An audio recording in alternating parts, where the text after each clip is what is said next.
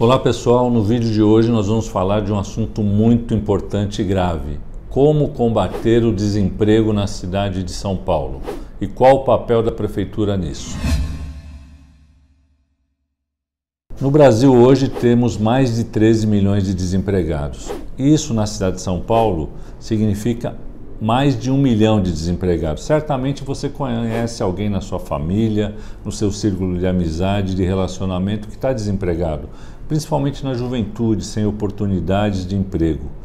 Para reativar a economia, precisamos de várias ações, muitas delas no âmbito do governo federal, que diz respeito a uma valorização maior do salário, para que os trabalhadores possam consumir mais, uma melhora no crédito com a redução da taxa de juros e principalmente um forte aporte de investimento público em obras públicas que gerem emprego. E quando nós falamos de obras públicas que geram emprego, isso não é uma tarefa só do governo federal. Ela tem que ser realizada em todos os níveis. E São Paulo, a nossa cidade, tem condições de fazer isso e não está fazendo. Vamos aos fatos. Eu tenho dito e já fiz vídeos sobre isso, sobre o enorme caixa que a prefeitura tem hoje. Mais de 11 bilhões de reais no caixa geral do governo. Esse dinheiro se, se divide entre recursos próprios do Tesouro e nos vários fundos que a prefeitura administra. E eu vou explicar aqui como a prefeitura de São Paulo tem pelo menos 3 bilhões de reais parados que imediatamente poderiam ser investidos e gerar muito emprego na cidade de São Paulo. Vamos aos números. O Fundurb, que é um fundo de desenvolvimento e urbanização. Esse fundo ele tem 650 milhões de reais mais ou menos. E ele é para quê?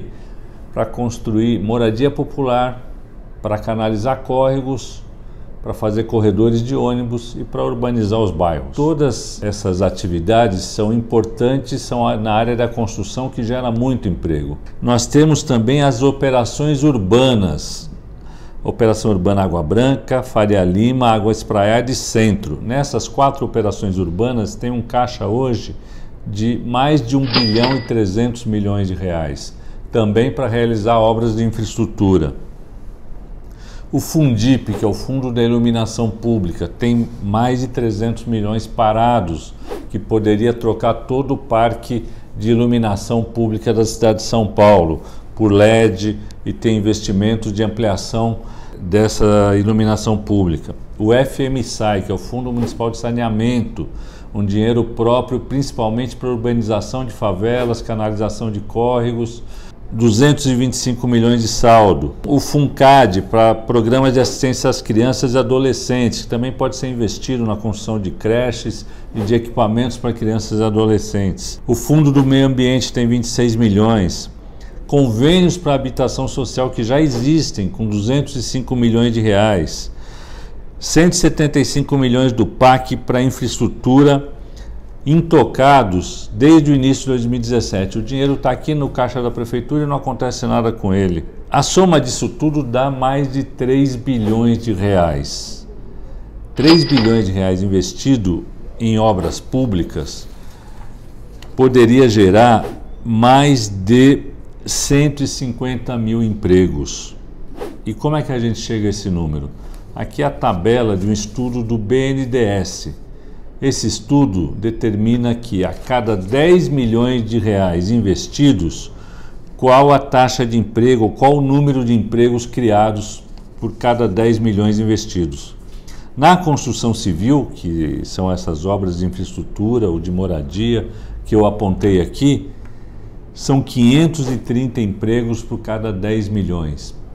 Se a gente tem 3 bilhões de reais parados nos cofres municipais, a gente poderia estar gerando cerca de 150 mil empregos na cidade de São Paulo. Nós temos um milhão de desempregados. 15% desse universo de desempregados poderia estar sendo empregado através do investimento público, direta ou indiretamente. Né? Aqui você tem quanto é gerado de emprego direto e quanto é gerado de emprego indireto e também o efeito renda ou seja, esse multiplicador, é um estudo bem aprofundado do BNDES. Esse dinheiro parado não gera nenhum benefício social, não gera moradias, não gera corredor de ônibus, não gera canalização de córregos, não gera urbanização de bairros e não gera emprego. Isso é o mais grave. Então a gente está cobrando firmemente, batendo nessa tecla, porque o maior problema do Brasil hoje é o desemprego. Eu ando muito por essa cidade.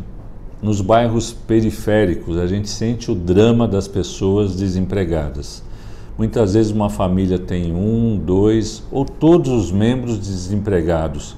A gente percebe o desespero daquelas pessoas. A gente sabe que uma família onde você tem um emprego, as demais demandas de alguma forma se organizam e se resolvem.